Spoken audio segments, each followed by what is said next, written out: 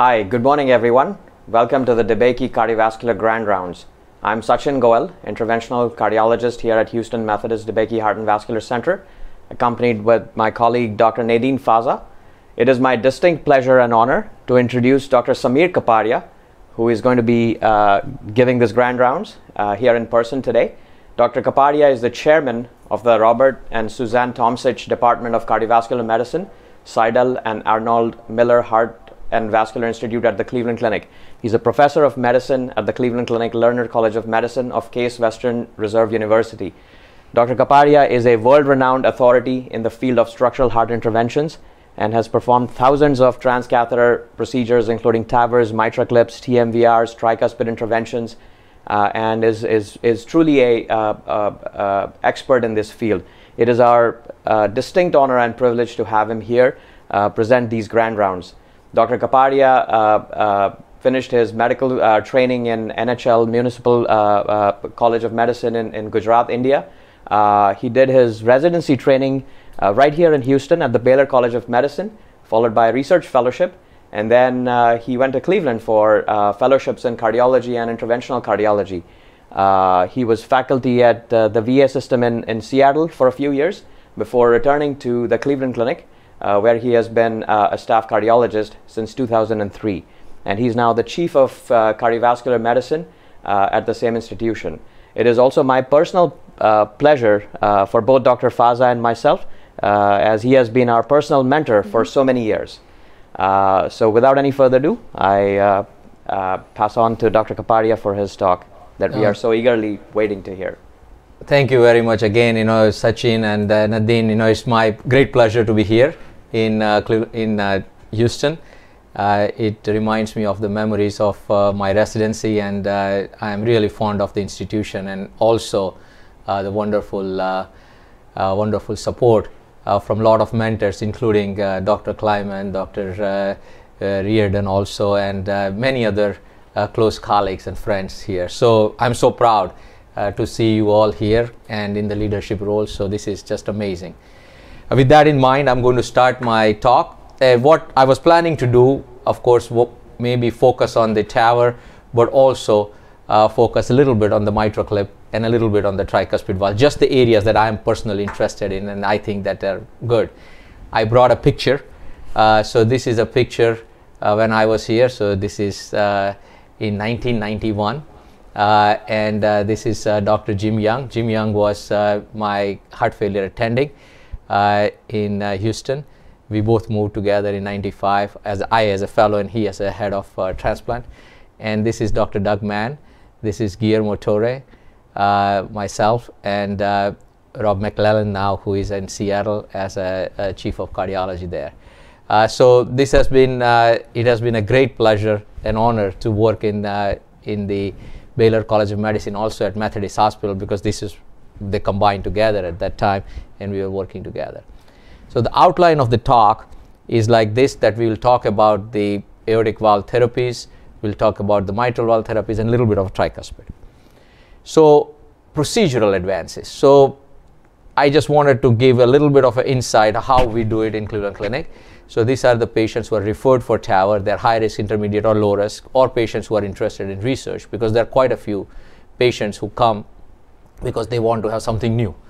And the patients are seen by cardiologists, cardiac surgeons, uh, and cardiologists can be any interventional cardiologist, imaging, or clinical cardiologist interested in percutaneous therapies. And then all these patients are presented uh, every week.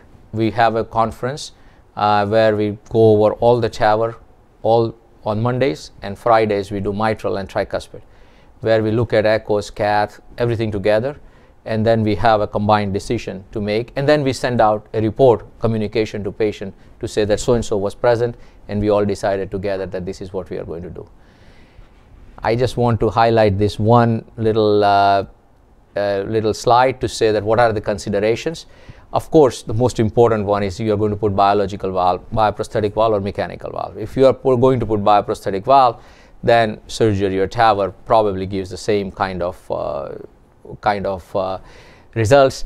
Uh, and then the anatomy is the most important. So whether we are able to put a new valve in valve in the future, so the lifetime management is super important. So that's why I put that little figure on the other side. We just published it with, uh, Stephan Windecker, myself, and other people in European Heart Journal to say that how do we, when do we send patients to surgery? So this was the topic that they asked us to write a paper. It's a very detailed paper. But the idea is this, that depending on the age, we have different options during the lifetime management and what are the considerations for these different options. So it is worth uh, you know going over if you have time. I brought the picture of our TAVR team and uh, Sachin is there in the front. Uh, this is our uh, initial team for the TAVR. This is before the COVID time, so we used to all sit together, and uh, we used to have every. Uh, I remember Monday morning uh, that we used to get together and have a conference. This is Dr. Tuzcu, this is Dr. Svensson, myself, Amar, Stephanie Mick, Jose Navia. So this is a, a team that started uh, the TAVR and we were very proud uh, that Sachin was part of our team. Uh, we always discuss the anatomy and the surgical comorbidities also at times. This is the this is another important thing that we have been doing that we create a slide for every patient. So this slide is created with our fellows and uh, attendings, and it has clinical features, labs, cath data, echo data, because all these patients are very very similar and run into each other when we are doing so many cases. And then we measure the CT scan, and the measurements are made according to whether it is a fellow, myself, or whoever measured it, and we write it down that who measured it. And this is part of the report. So it also becomes a pre uh, report for the patients. This is our room, hybrid room. It's large, uh, but at the same time, very few people. So no Swan Ganz, no general anesthesia, no art-line, no Foley none of this. So this is a very simple, straightforward procedure. We have also changed the way we do TAVR a little bit over the last four five years. So I just want for technical details. So we get an access in the femoral artery like everybody else does, but we just use one perclose. After we put one perclose, we put an eight French sheath in that uh, top artery. Then what we do is we go just below. So if this is the artery, we would just stick just below it with a second needle uh, again, you know, you don't need anything, just put your fingers and stick below it uh, and get into the common femoral or even SFA doesn't matter. But about 3 4 centimeters below, uh, we would enter. And then this is how it looks. So, this is a 8 French sheath, this is a 5 French sheath, this is the venous sheath, and we also do uh, a sentinel device in all the patients. So, that is the sentinel device. Uh, this is our setup just to again to show that this is a monitor this uh, we have a biplane lab so these are the biplanes echo transthoracic is available and then we slave one little thing to the anesthesia also for mac uh, so they can record their things on their anesthesia instrument we always do the sentinel device and it is relatively fast so we can get it done within three or four minutes and we will have the protected TAVR data coming up uh, during the TCT this year. We have completed the study and I'll show you just the, the basic information about the protected TAVR So the another difference is that we are using a straight flush catheter rather than a pigtail catheter in the non-coronary sinus. Uh, this is also something different that we do just I'll, I'll show you why.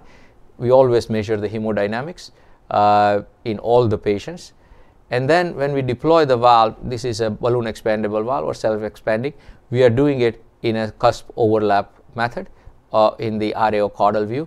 But the idea is this, that when we are putting the valve, we are trying to identify the radiolucent part of the S3 valve and we put the radiolucent part, you see that here, the first link, and we put the link right at the bottom of the straight flush catheter. So the straight flush catheter is telling us where the non-coronary sinus is and then when we expand the valve it shrinks or it uh, foreshortens exactly that much and so it comes at the bottom of the line.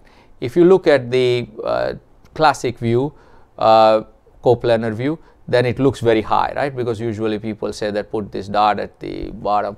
So this is very, very high. It doesn't embolize or anything. And I'll show you the data in a few seconds uh, of all these things that because everything we do I like to publish uh, with the fellows to say that we did the right thing or not. So at least we look at very critically and let other people look at it too. So after we deploy the valve, we just inject a little bit of, because we never removed the straight flush, so we inject a little bit of dye in the sinus to just show that how far up we have placed it. So we'd like to put it one millimeter or zero millimeters below the, uh, and it looks in the LAO view looks like that, uh, as you see it here again one more time. Uh, so right there. Uh, we assess the AR transthoracic echo uh, and again we have done a couple of things that will decrease the aliasing velocity so we normally will come down on the aliasing velocity to see if there is any AR. Uh, sometimes we can even inject a little few bubbles not bubbles but saline on the top if you don't want to give dye uh, but we always do a contrast injection and then we check the hemodynamics. So in all the patients we check the hemodynamics and we have several different papers written that what are the different indices we use, the AR index, um, uh, TIAR index we call it, which is independent of the heart rate. Uh, and we also look at the dicrotic notch. So if the dicrotic notch is above half of the downslope, then there is not much AR. So this is also helpful. Then one last thing we do is that now we remove the pacemaker from the uh, apex of the uh, right ventricle and then pull the pull the pacemaker up into the RA and then pace it. So we go from 90, 100, 110 and 120 beats per minute and at 120 beats per minute if we can conduct one to one. So if we conduct 120 beats from the atrium to the ventricle, we say that this is not uh, having any kind of conduction abnormalities and we can discharge the patient the same day. This is different uh, if we are going to find a conduction abnormality. It does not mean that this is something bad because then we don't know whether the obstruction is at AH or HV interval. Many young people can block it in AH even as normally if you pace them fast enough. So this is something to keep in mind that if you can conduct one one to one, we did not find any problem of needing a pacemaker. And we say less than 2% chance but even those two patients that we published uh, both had left bundle branch block so we paced them uh, for synchronization rather than for AV block. Uh, then we do a completion angiogram. So again simple because now we took the top sheath out. I brought a patient which has some stenosis there. Uh, but the idea is this that we cinch the top uh, if it looks good with one Perclose great. If not we put one more angioseal so that way we have less of a arterial cinch. And then in the bottom artery we just inject a little bit of uh, dye to see how it looks. If it does not look good like here uh, we would just very quickly put a uh, put a balloon from the bottom. So you can just put a balloon from the bottom uh, in the same sheath balloon it even stent it uh, and uh, we can be done very very fast. And then we just use manual pressure for the bottom sheath give protamine manual pressure take out the venous sheath and the uh, arterial sheath. We have a short, small team of people that we work with in the sense that the nurses techs fellow uh, and a cardiac surgeon is always there. So these are the this is one case uh, but we have four different operators working together. So I'll just show in next five minutes our data to say that this is the, these are the outcomes for comparing general anesthesia and monitor anesthesia. So in 2017 or so, we changed everything to, uh, or maybe 16, we changed everything to uh, monitor anesthesia. So nowadays we hardly ever use, except for alternative access, uh, general anesthesia. And if you look at some people question this, that if you do general anesthesia and do TE, you can see better and you can identify the AR.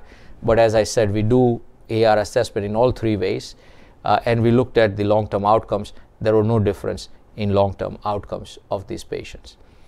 Unilateral access, we found that it's very safe uh, compared to the bilateral access, so we did not find any groin problems, anything to worry about that. Single versus double Perclose, again same. 66% of times we can just use single Perclose and uh, no, 30% of time single, otherwise we use angioseal and Perclose together but again no complications more complications. And this is the high deployment. So with the high deployment again we found that you know so we went from 3.2 average to 1.5 millimeters so very very high deployment. And you can see that the pacemaker rate came down to 5.5 percent from 13 percent. So this is a huge difference. Uh, and even if the new onset left branch block came down from 12 to 5.3. So this is uh, again published. Uh, all this information is uh, published. And then this is the paper that I mentioned, uh, Dr. Amar Krishnaswamy, who is our uh, head of the cath lab. We wrote together and we even did this study at two centers, one here and one in Milan with Dr. Colombo uh, so, and Azeem. and what we see here is the data that I just told you that the risk of permanent pacemaker is very, very low if you can conduct fast enough. This is the data for same day discharge. So we started same day discharge just before the COVID time. Uh, and during the COVID, it was a great uh, asset to us because we didn't have to put the patients in the hospital. Uh, and these are the criteria that we use that if we have six hours of observation after the procedure, then we can discharge the patient. Again, we published this uh, and we ambulate the patient. So once we uh, go and check them out before discharge, ambulate them if patients are comfortable, then we let them go. Next day discharge is again in another 63% of patients. So totally 85% uh, of our patients are discharged uh, within a day. Again, if you look at the same day discharge versus uh, non-stay same, same day discharge, we did not find any differences in, um, uh, in any of the outcomes. But also, very importantly, the most important predictor is that we have to have time before we discharge. So, if we finish before noon, we can, we can discharge them by 6 o'clock uh, so that by the time we go home, we can discharge the patient. So, that was the idea. Typical follow up, we see all of the patients next day. So, if we discharge them today, we will see them tomorrow in the clinic. We check their groin, we check, check get an EKG, uh, and uh, otherwise we say see them back in 30 days, 6 months, and 1 year. Uh, and if the gradients increase, mean gradient increase by 10, then we do a CTA. Otherwise, we don't do a CTA. Uh, and uh, if there is a no, you know, if there is thrombosis uh, or halt or any other suspicion, then we consider NOAC or warfarin for six months to one year. So that duration is a little bit longer than most people use, but that's what we have been using. So these are the data from 2018 to 21. So we were doing 500 cases, then we went to 700, and you see that, that even during the COVID, we did not decrease our volume. 30 day mortality, so 2,500 patients, so large number of TAVR patients. 30 day mortality is 0.3%, stroke is 0.5%, AR more than 2 plus is 0.4%, and new pacemaker rate is 2.7%. So you can imagine that with this data, it is acceptable to have an option of TAVR to low risk patients if they are interested. So we have to select the right patient, we have to select the right kind of uh, patients to do this, but this is an important part to keep in mind that you should track the data and look at very carefully that what are the outcomes. Uh, these are the main outcomes we look at, but also we have readmission, uh, renal failure, atrial fibrillation, all of those things that normally people report. So the change is real. So we have gone from uh, you know surgical side to considering the TAVR uh, for everybody. Now, I wanted to just highlight a few things that are relatively new. So, one of the things, not new, but more data are necessary and people are working on it. So, patient prosthesis mismatch. So, if you look at this patient prosthesis mismatch, there is a there is a lot of uh, literature that is coming out to say that how do we really measure the patient prosthesis mismatch in TAVR valves. So, in the TAVR valves, as you know that there is a there is a lot of uh, debate whether the hemodynamic measurement by the transcatheter measurements, invasive measurement versus echo measurements, which one is uh, accurate or what are the reasons why they are not exactly the same. Most important reason is the pressure recovery, so that the kinetic energy is again converted back to the uh, back to the pressure, and you can measure it. So if the aorta is small, uh, and uh, if you have uh, a laminar flow, then sometimes this happens. So this is important to keep in mind, and it depends on the type of the valve. Uh, so what, how do we how do we see this? So this particular study, as you can see, uh, that if you are going to measure in the self-expanding valve or balloon expandable valves, and if you measure the invasive mean gradient or echo mean gradient, the invasive gradient is obviously less, and echo gradient is higher. Uh, so how much is the difference? So this is uh, this is to say that if you measure the invasive gradient close to the sinus versus you measure the invasive gradient in the ascending aorta, how much difference you make. So this is the equation. This is a reasonable equation, old equation, 1999. Uh, so here you can see this that if you take the let's say the the gradient was about 20 uh, and if you if you take the aortic valve area to be 1.6 and aortic size 8 meaning you know not particularly dilated uh, 8 8 centimeters square. And then if you just use the equation then you will come up that mean gradient is either 20 or 14 which makes a big difference in the in the management that if you have a mean gradient of 20 versus a mean gradient of 14 you would have a different kind of management uh, for these patients. The definition of uh, patient prosthesis mismatch also in the this is the VARC 3 criteria so there is a addition to the BMI now placed in place. So if your BMI is more than 30, so if you are, obese, uh, then you can see that the severe has a little downgrade. So instead of 0.65 centimeter square per meter square, is 0.55 centimeter square per meter square for the severe. Moderate is also 10 points less. So this is an important thing to keep in mind that when you review the literature, how people defined it whether they took the BMI in consideration or not, or how, what were the exact cut points that people use, because the literature is all over the place. So the third part is in the literature there is a lot of information about the measured versus predicted. So when we look at the most of the surgical data so far published, they are all predicted, meaning that if you have a valve uh, that was manufactured by the manufacturer and they said that the valve area would be 1.8 or 1.7 centimeters square. Then you divide that by the BSA of the patient and you say whether you will have a patient prosthesis mismatch or not for this size valve. So this is how most of the literature is published for the surgical valve.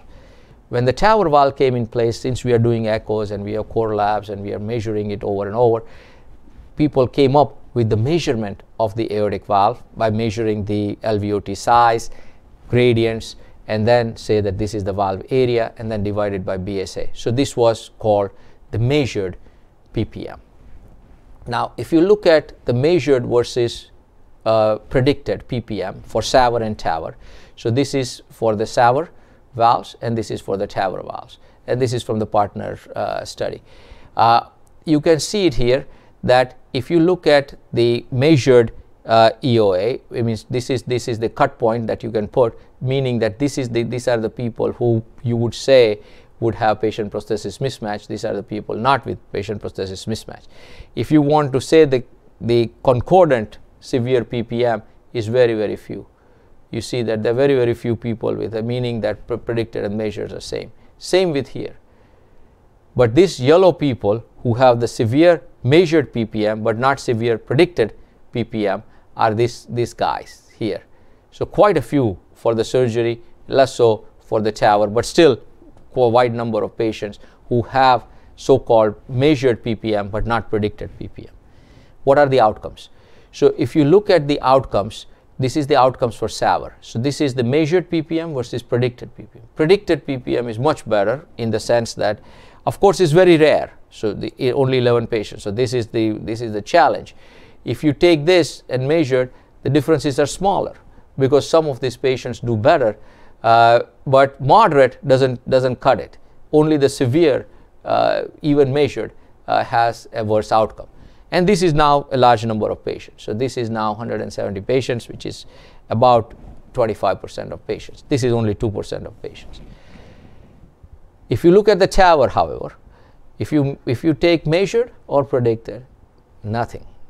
So this is the most amazing part that even for the moderate, severe, mild, whatever way we cut it, we don't find a difference in outcomes, either this measured or predicted. Predicted, obvious, obviously, severe is very rare. So, you know, you will just say moderate or mild, and there is no curve the other one.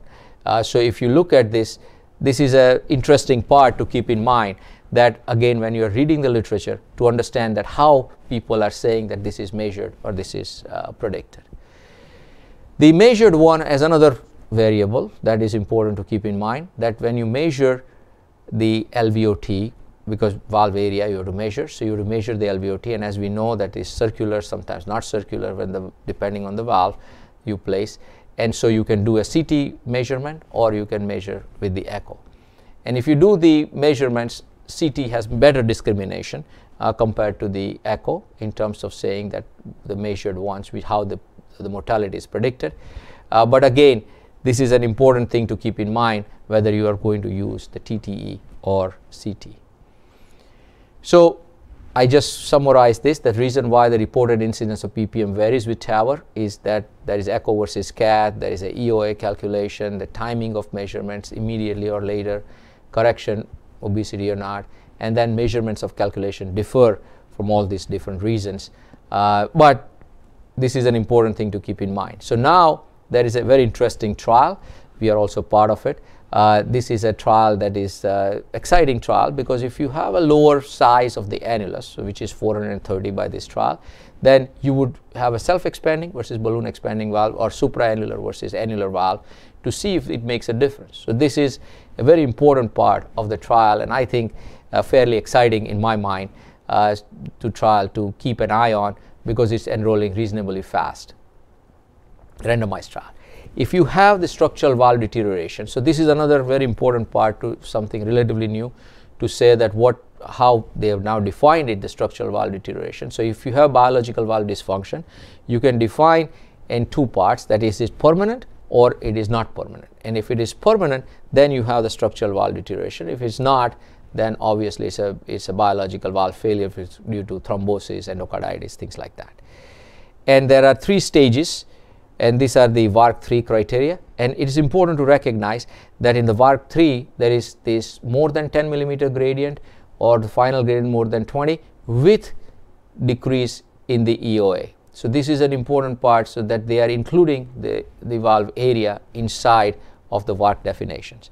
If you go to the European definitions, they, they don't have the valve area. So this is, this is mainly the mean gradient. So these are the two important things again to keep in mind that how people are defining reporting uh, the different types of uh, data because uh, this will be very important to recognize. There is an interesting concept of what we call it a uh, stent creep or whether whatever the reasons are but even in the patients who do not have do not have halt meaning that there is no valve thrombosis sometimes the gradient goes up uh, and if the gradient goes up you can dilate those valves and this is the this is the uh, uh, some multi-center study that Dr. Webb reported to say that if you dilate these valves, their gradients do come down, they do not develop AR, and so early increase in the gradient has been treated with valvuloplasty. So this is something to keep in mind. A few patients do require uh, valve in valve, so it is better to be prepared for valve in valve, but do the valvuloplasty. So this is something that is uh, relatively a new information. TAVR in TAVR, the anatomy is very important. So if you are going to put a self-expanding, self-expanding, what will be the neoskirt and how it will close uh, the coronary access or uh, coronary flow. These are both very important considerations. And whether you put a sapien in sapien or sapien and CoreValve in each other. So all of those different things can be done. I just wanted to just for a little mental break that we have a patient. So this is a patient uh, who was in came last year, uh, which we did TAVR in 2020, 2012. So nine years out, uh, and we left him with a moderate PVL because at that time that was considered okay. Uh, we would not leave him like that, but the patient didn't have any problems, any problems with left ventricle.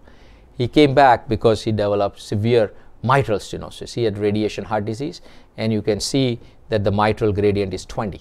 So the mean mitral gradient is 20, the peak is 52. And there is some aortic stenosis, you know, with the gradient of about 30, uh, which is, you know, which is not trivial.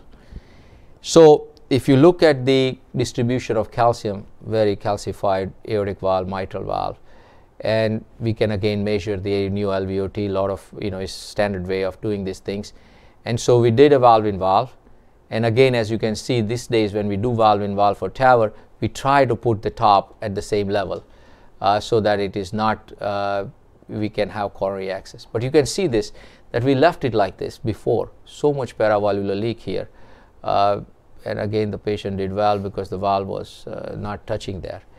So in nowadays, we would not leave it like that. So we did put a, uh, large uh, a plug in the PVL closure and the post PVL closure. The AR was not significant uh, much less still there, but much less. Uh, and then we put a mitral valve in MAC, uh, same time, uh, and good result, excellent. And then we discharged the patient the same day. So we could discharge this patient the same day and we could report it uh, in the literature. So again, this is a very useful thing to keep in mind that the percutaneous therapies are becoming at that level. Role of SAVR, as I said that this is a good paper to review uh, because what are the real re- what are the real indications for SAVR? This is the reverse question now people are asking that when do we refer the patient for surgery?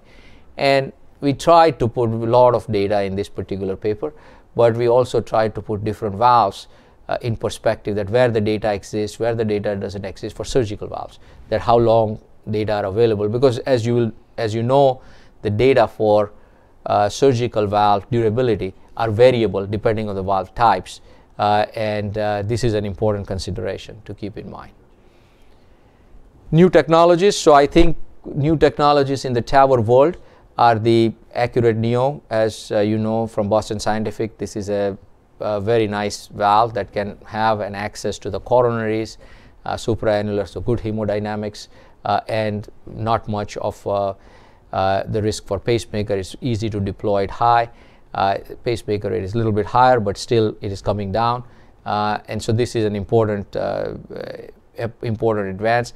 The Navitor is the new Abbott system to deploy uh, the, uh, valve again in a more accurate way. Uh, Evolute FX, another one, and JenaValve. And then new indications. And then, of course, we want to improve the outcomes uh, for the patient. So this is the ACURATE neo. I'm not going to go in the details, but you know this is a valve that is again a very easy reproducible valve to deploy, and this is a step-by-step approach. JenaValve again, this is for the AI or AI plus uh, AS uh, and commissural alignment is part of this particular valve. I'm sorry, but I don't see the my pictures there for some reason. Anyway, it's not very important, but these two systems are available. So now I want to spend maybe 10 minutes or so on the mitral valve and the tricuspid valve.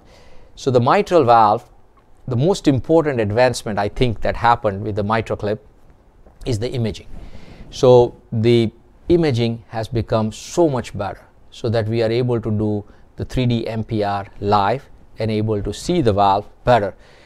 Uh, clip of course is better to say that uh, you know we can have independent grasping, larger clips are available, broader clips. So this is also an advancement, but I think the most important is the imaging. So I just want to highlight one patient to say why we think imaging is useful. I'm sorry but I my videos okay I'll go back again. Uh, sometimes it does that it may be my computer. Uh, I think it is the right one. So here you can see this that we are able to now we are able uh, to show uh, the mitral valve uh, very clearly where we can analyze not just the MR but also the leaflets and we can say where the uh, scallops are and how we can pull or push the leaflet so that the valve will not open. This is more important for functional mitral regurgitation than degenerative because degenerative of course we know the, the issue with the anatomy. In the functional it is trickier. Uh, and again uh, see the posterior leaflet how nicely we see we plan that exactly where we are going to put the clip. And then when we are ready to put the clip as you can see we can do 3D MPR live. So we can see the needle uh, as you see here. We can see that in the fossa how far up it is how, how much is the height how posterior you are. Uh, so even though in the past we used to do biplane this 3D live MPR has changed the way uh, we function uh, if you see the clip coming in uh, we again can see the clip orientation how straight uh, it is it is not crooked, the angle of approach is perfect. And then when we are ready to grasp, again, there is no rush. Uh, we can grasp the leaflet. We now decrease our tidal volume. We don't hold the breath or anything like that.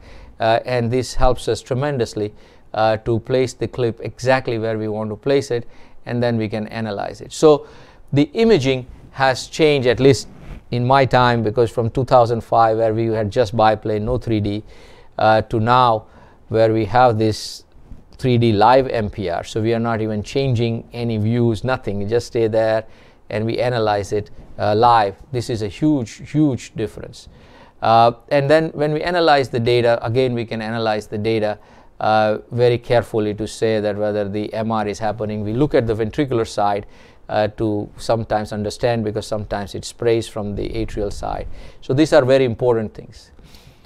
One, uh, one study that I want to highlight is the EMPOWER.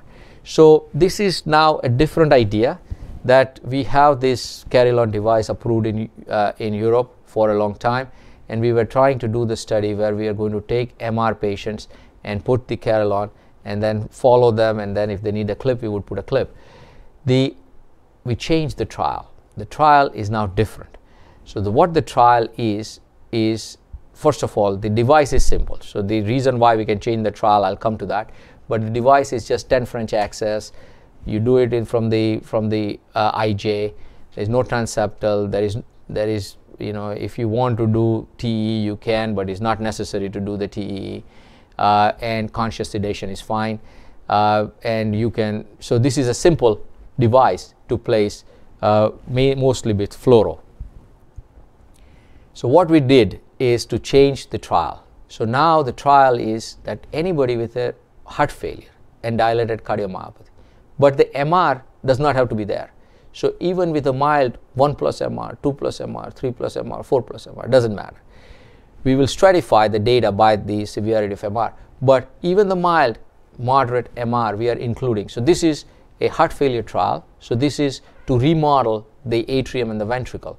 Because now from the initial trials we have some data to say that just even without changing the MR, it helps to decrease the LV size, functional status improves. So now the NYHA class 2 to 4 six minute walk distance, you know, somewhat impaired, uh, and left ventricular ejection fraction less than 50 percent, and diastolic diameter of 60, systolic of less than 70. So, uh, you know, to just to understand that not superly dilated ventricle, but not a normal size ventricle. And they have NT-proBNP of more than 1200 or one admission for heart failure. So, of course, patient has to have heart failure. So, if they have heart failure, cardiomyopathy, whatever amount of MR, we are now going to put this device and this is a this is unique because now we are able to enroll the patients with very little MR, so early treatment uh, of functional mitral regurgitation because MR begets MR, so this is the idea. Allows for the alternative therapy in the trial, so you know in three months if they are symptomatic, we can put a clip or do another TMVR trial or transplant or whatever they need.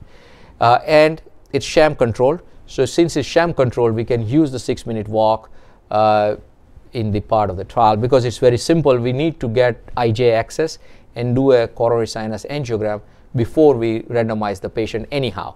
So after you randomize it is only 5 10 more minutes to put the device in. So really speaking you can do this study as a sham because there is no extra procedural steps that you need to do for sham control. We just need to not put the device.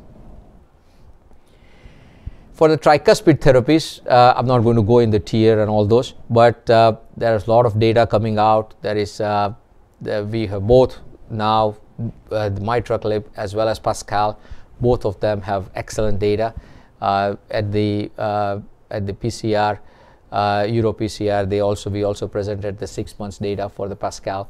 So, a lot of information pointing positive response with TEER tricuspid valve replacement, we started with the NaviGate valve and now we are doing the Evoque. And so we have again incredible uh, safety and efficacy of this device in appropriate patients. However, if you look at this, this strategy, so this is a, again a little change in the, in the thinking, so that if you look at the favorable conditions, people have to have favorable anatomy. And since the patients who are coming to us are at a later stage of the disease process, at least in our experience 50 70% of the patients we are not able to enroll in any of the trials.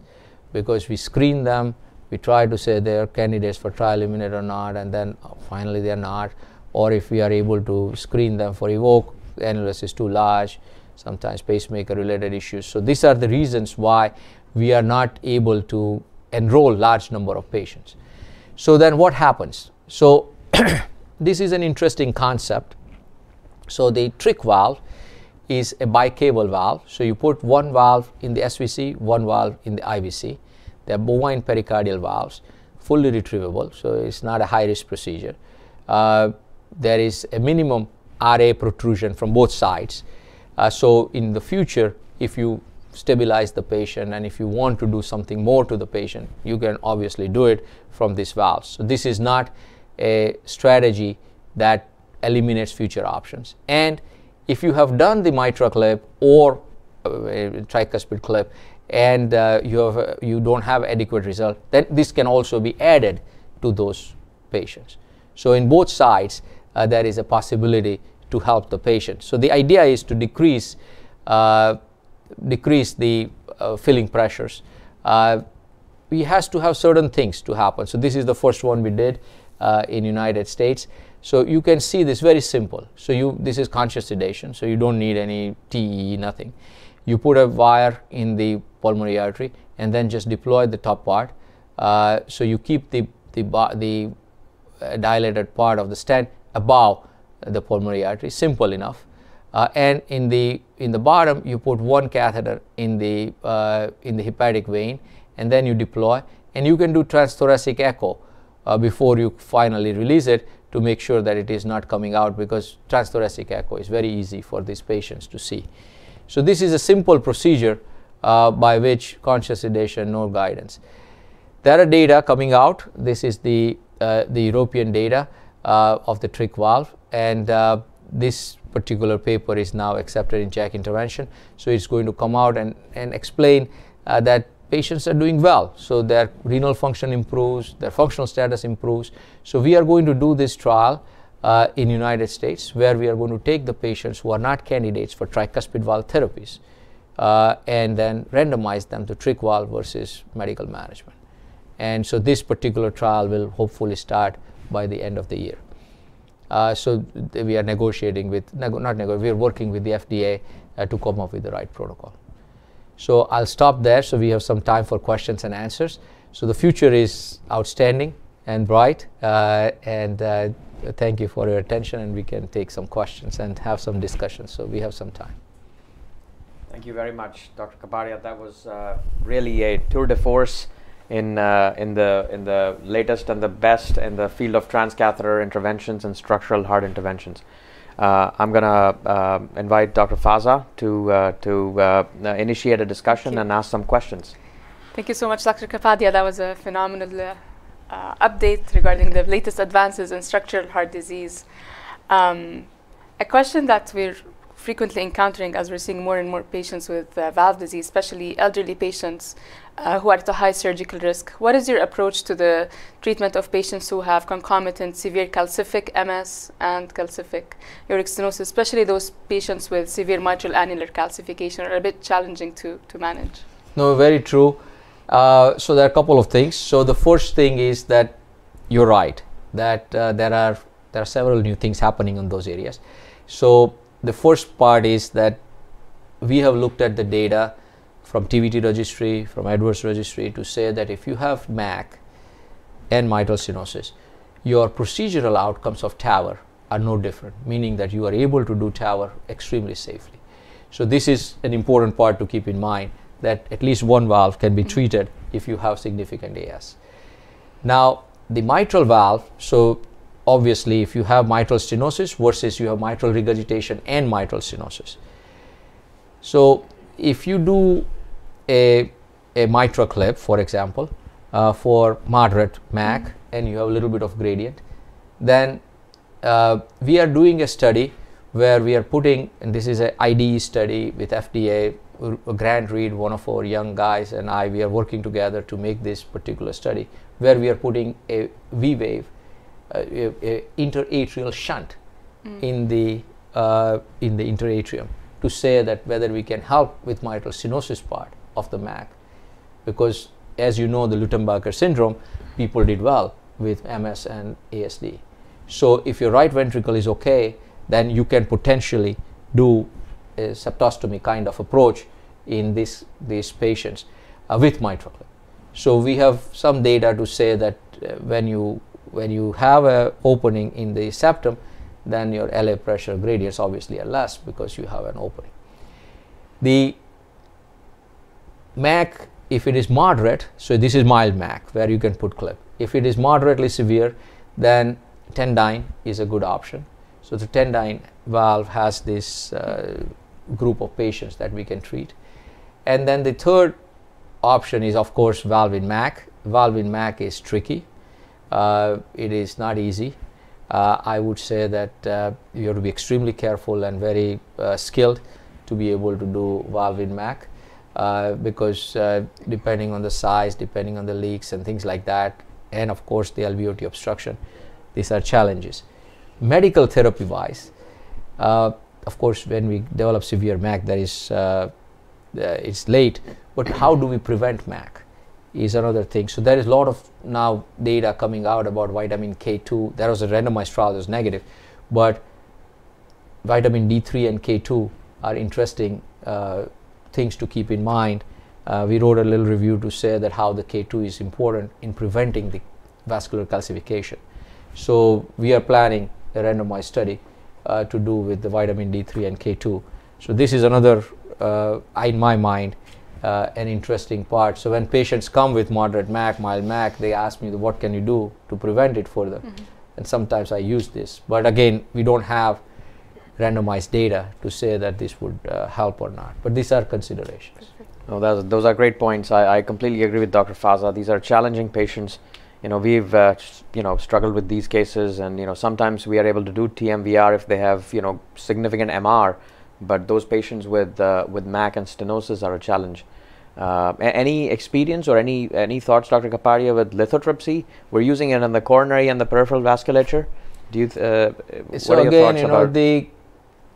Yeah, you're right. So the, if you look at the balloon results of the uh, of the calcified mitral valve and MAC, they are not very good because depending on how much calcium is on the annulus that is restricting it versus how much it gets into the mitral valve leaflets.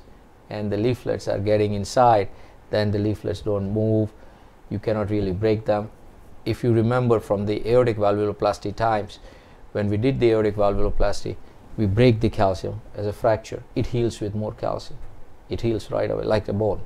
So the long term i personally don't think that this balloon uh, kind of uh, things are likely to work for these uh, purposes. but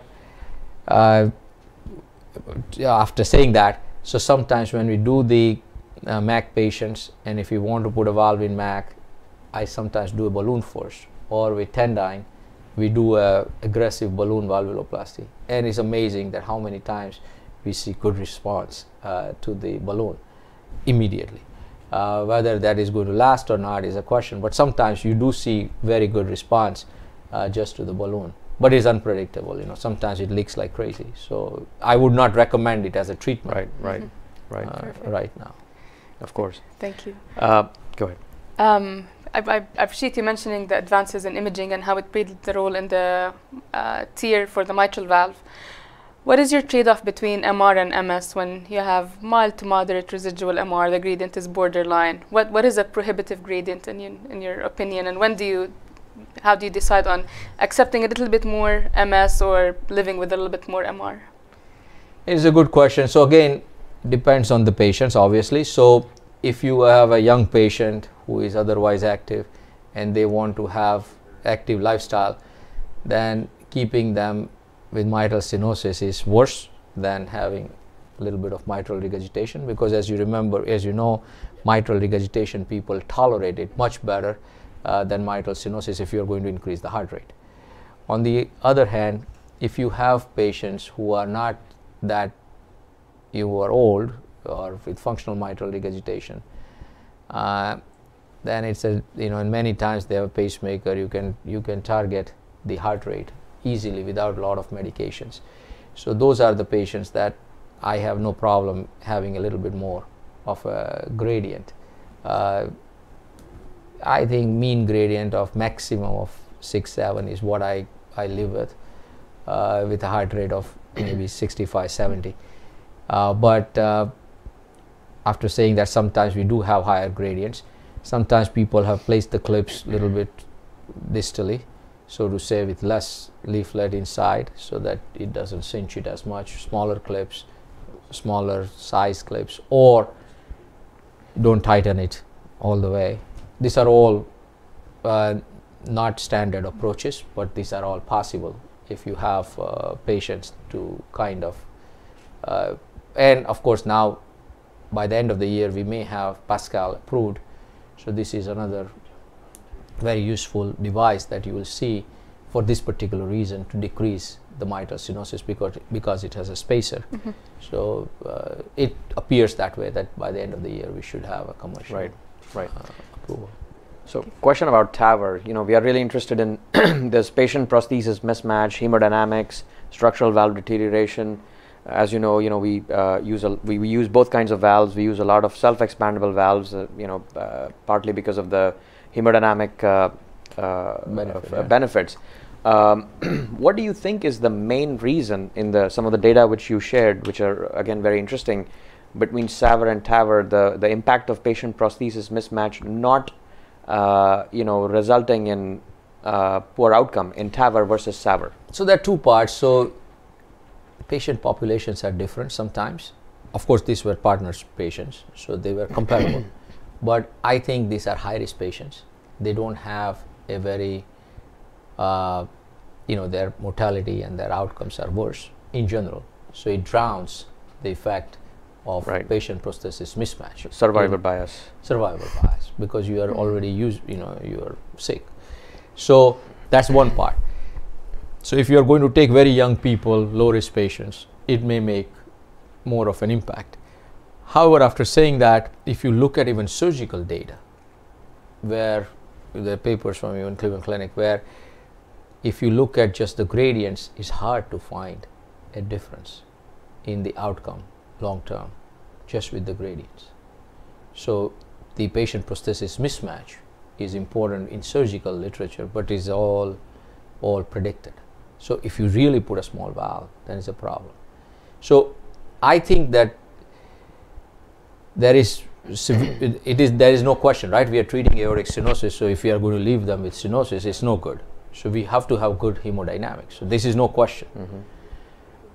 the what is good and what is not so good and how you measure good versus bad this is why i presented this data to say that you have to be a little bit more careful when you analyze this information and i think this smart trial is a great trial and the- as you know there are several new technologies that are coming to say that when you put a valve in valve uh, or initial valve that they will have a better eoa so this is this is in in works with several different companies, several different uh, things. So uh, the question is that how do you treat a valve failure, right? If you have a TAVR valve failure and if you have to send them to surgery, it's so terrible. And some people are doing minimal invasive surgery where just remove the leaflet, not the valve, and put a surgical valve inside uh, of the valve. So that's a one way to treat Right. self-expanding valves. Or one of our patients had this problem where we put the valve in the leaflet. So we would do basilica like thing where we perforate the leaflet and then we would put the valve inside of the leaflet so that we don't have to do because if the valve is not oriented right then even basilica does not help uh, Right. because if you're a commissure in front of it Right. uh, then it is a challenge so all of those things are are important things to keep in mind Do you think there is a uh, there may be a potential role with the type of antithrombotic therapy and structural valve deterioration, meaning antiplatelet, dual antiplatelet, anticoagulation? I mean, we've moved away just like you showed. You know, we use single antiplatelet in all patients. We use dual antiplatelet if they've had a recent PCI. We use anticoagulation if they have AFib. But do you think that may have any impact? Are there any data to suggest that? I think that data, as you know, because even in the Atlantis and Galileo trial, both of them, you know, if you take out the harm, you know, if you say that they didn't, you know, if everybody didn't have any harm, then they did better in terms of the gradients and in terms of halt.